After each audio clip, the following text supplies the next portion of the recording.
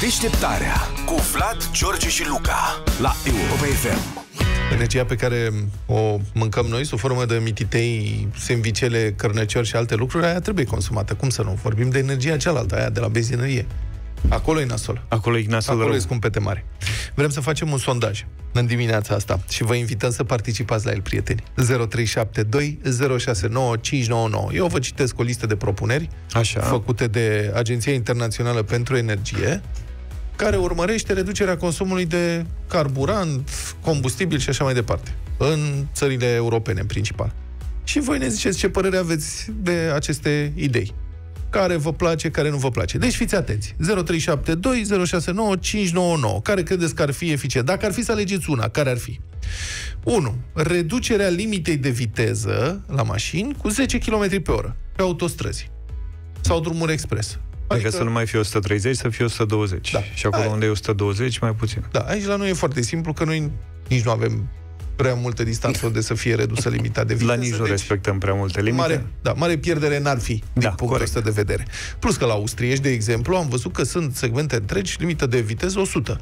Prin Mhm. Spania 120, adică alții au încercat. E adevărat, e autostrăzi. Noi n-avem. Aici am putea avea o scuză, știi? Bă, mai întâi aia faceți în autostrăzi, ne bucurăm și noi o generație de ele, să ne dați în 130 la oră și după aia mai vorbim, mai reducem. A doi, duminici fără mașini în marile orașe. Se poate.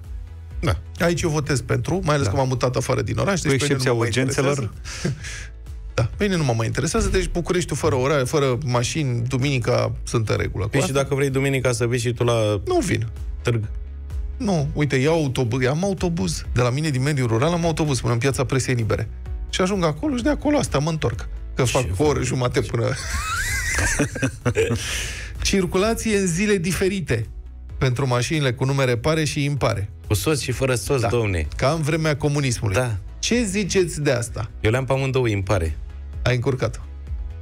Da. Deci Da. să vorbesc cu tata, una să o matriculăm în parc. Preventiv. Deci, practic, ar fi, dar pe atunci cred că era cu weekendul.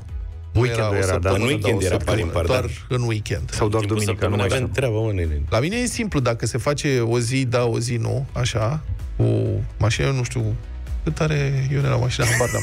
Dar practic eu o Pe zi nenorocit. vin la radio, o zi nu vin la radio.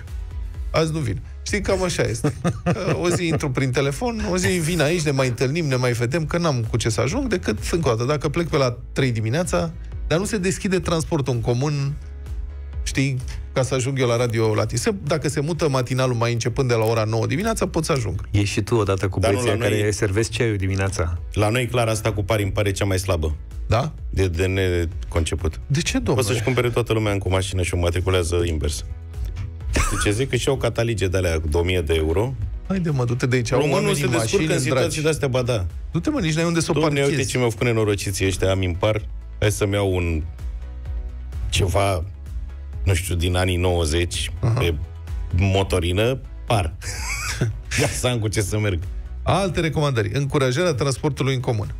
Asta, Eu da. pledez pentru încurajarea transportului în comun de ani de zile. Oricum, de când s-au ridicat restricțiile, Da. să știi că oamenii au reluat ușor, ușor obiceiul. Tra- Erau da. tramvaiele goale. Eu mergeam cât a fost cu restricții, știi, lumea de spaima epidemiei evita transportul în comun. De înțeles. Eu Până la un punct. doresc să încurajez Și transportul acum în comun sunt tixite, că deodată a dispărut pandemia. Eu au tot mai multe cazuri în jurul meu, apropo de asta. De pandemie. De, De- de coronavirus, da. Da. Păi o să mai vedem ce se mai întâmplă. În București s-au făcut și piste speciale pentru autobuze. Se Da. circulă foarte bine pe acolo, dacă o iei pe acolo. Da, m-am Cu văzut și mașina. eu. Bă, este atât Da, de cu enervant, mașina. pe bune, este atât de enervant să fii de bun simț și să respecti legea, în, ce obțin în orașul București, e super frustrant. Când mai merg în oraș, am văzut, apar, sunt niște benzi care sunt în principiu rezervate pentru transportul în comun. Da. Adică autobuze și presupun taxiuri, Taxiuri. Uber și așa mai departe, da? Și vezi o grămadă de șmecheri care se bagă pe acolo. Da, tu și stai tu- în coloană, mă, ca prostul, că așa e civilizat și poliția nu face nimic. Mă, nu te supăra, adică statul român n-ar trebui să verifice asta? Poliția nu îi De plătit ce ar pentru face? Asta. Se, păi cum, se pentru asta îi complice, plătim, ca să se mă, băiatul. complice. Și complică, de cine, niciodată nu știi cine conduce mașina aia. Altă, încurajarea mersului pe jos sau cu bicicleta. Eu aș veni din Corbeanca cu bicicleta, practic, Ai plecat luni și ajunge joi. da. Tu mai ai George bicicleta sau Mai am ai bicicletă. vândut-o? Am Că bicicletă. nu te-a mai văzut nimeni cu ea de asta. Păi, se- mă umblu noaptea. practic, convechește E ca vremea vinul. să o O învechește ca vinul, știi? A fost, Așteaptă să... a fost frig afară. Perioada, îți aminte, era fiert pe bicicletă. Nu da. mai vedeai decât cu bicicleta. Greșeala Era a fost că i-am luat noi cască. Cască, da. Bă, Ți-am luat și da, șeamă? plăcea. Nu, ți-am luat și șa serios. Parcă ți-am luat și șa sau ceva. Dar cască. Pompă, nu știu. Și ăla a fost momentul a... Mi-au luat ăștia cască. De Se mai acolo încălzește s-a- acum, vin cu bicicleta. S-a pierdut ceva. Da. Transport cu trenurile de mare viteză în defavoarea avioanelor. Aici nu avem ce, cum să-i ajutăm. Nu ne Nu știu băgăm. cum să facem noi cu chestia asta. Noi trenuri de mare viteză, măcar dacă ar avea peste 30-40 de km pe oră. Noi nici avioane nu prea mai avem, Da. Așa că nu putem să-i... Avem, avem avion. Avem, da? Da. Trenuri de mare viteză, nu? Ca orice lume civilizată, noi nu avem. Munca de acasă câteva zile pe săptămână. Minimum 3. Ia uzi. Am ce vorbire. Mă ofer. Asta Două- așa rămâne, adică la cei mai mulți cunoscuți de-ai mei care urmează să revină la serviciu, cam asta o să fie regula, Mhm. lista transmis. Da. Două, trei zile pe săptămână de acasă, restul la Păi- serviciu. Frate, avem un mini-studio. Ne trebuie încă două. Cât de greu poate să fie? Cât Da, costă un nimic mini-studio de ăsta? Da, ma- nu mare lucru. Că la o adică dacă faci calculul cât economisești la benzină, mai pune și compania ceva, te mai ajuți și tu, mai mergi la, mai faci un CR-ul, mai... Cu ce are nu prea. Adriana, bună dimineața! Bună, Adriana! Bună dimineața, băieți! Tu ce ai alege David din de toate astea? Reducerea Da. consumul, militez foarte mult pentru mersul cu bicicleta și dacă statul român s-ar implica și ar realiza infrastructura necesară să mergem cu bicicleta, uh, ar fi cea mai nepoluantă chestie. Ar fi, într-adevăr. Facem și, facem și mișcare, slăbim. Eu cândva mergeam cu bicicleta de la Tineretului, mă rog, de la Metalurgiei, Bulevardul Metalurgiei până la Tineretului. Mergeam cu bicicleta la birou, da. Ok. Și eu m-am dus ani de Acum- zile, și eu m-am dus ani de zile la fabrică cu bicicleta, după care m-am îmbogățit și mi-am luat o rablă.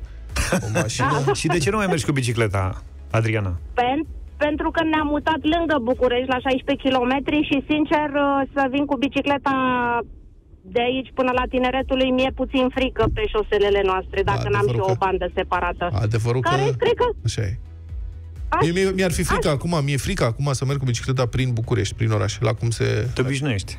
Îți trebuie o da, săptămână. recunosc, recunosc că profitam de faptul că mergeam uh, b- prin parcul tineretului. Intram de la McDonald's-ul de la tineretului și coboram la liceul Gheorghe Șinca și era minunat. Profitam, vedeam și natura, cum înfloreau copacii, primăvara Da. Mhm. Nu se face, am senzația că nu se face niciun efort pentru încurajarea mersului cu bicicleta în, Sub nicio formă. în România. Niciuna din primăriile mari nu se ocupă de chestia asta decât așa accidental și de gura lumii. Florin, bună dimineața! Bună, Florin! Neața. Bună dimineața! Bună! Aș recomanda pentru eficientizarea transportului public în comun, în primul rând, chiar dacă încurajăm uh, uh, mersul cu transportul public local, trebuie fi eficientizat. Da, De sigur anume, că da. Mai multe peni speciale, Da. uh, camere de supraveghere pentru uh, infracționalitate, Contravenție, nu cred. Ce infracționalitate? Nu, nu, nu, în interiorul. asta, În interior?